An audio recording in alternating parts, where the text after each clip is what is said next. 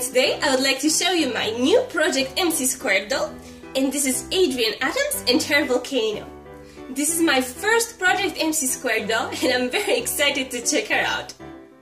Project MC Squared is a new doll line that is science and math inspired.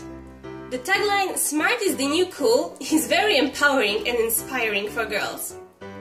This line features four characters and the one that I'm going to review today is Adrienne Attoms, who is a culinary chemist. This particular doll of Adrienne comes with a volcano experiment. As always, let's start the review of the packaging. The front part of the box is mostly transparent. On the left, you can see a picture of the actress that plays Adrienne in the TV series. Here is the Project MC Squared logo, and here's the name of the set Adrienne's volcano. On the back of the box, uh, here you can see a picture of the actress again, uh, the name of the doll, Adrienne Attoms, and the catchphrase, pretty brilliant.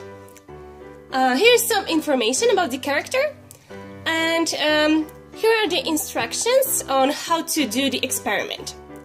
Here you can see a picture of four of the dolls that are available in this doll line. Okay, so this is it for the box. And now it's time to take her out, so I will be right back. And now she's out of the box! The doll is fully articulated and she comes with a white stand, a light blue comb,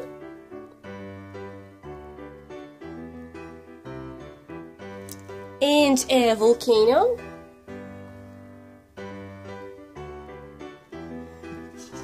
And a pipette dropper for the experiment.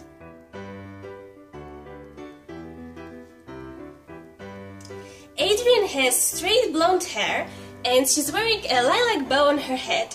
She has beautiful glass eyes and rooted eyelashes and she's wearing white eyeshadow and pink lipstick.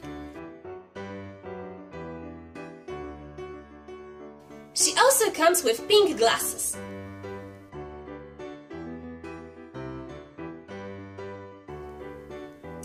Adrienne wears a pink shirt with flower pattern on it and a white sweater.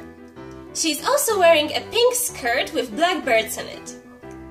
Adrienne also has a light blue necklace and a black belt. She also comes with a lab beaker flask.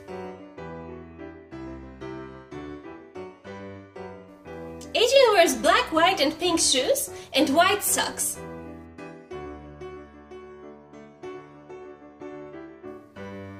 Adrienne Attoms is absolutely adorable and I like her a lot.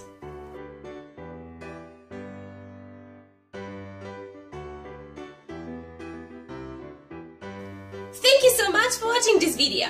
Please subscribe to my channel and check out my blog. You can also follow me on Facebook, Instagram and Twitter. I'll see you soon in my next video. Bye!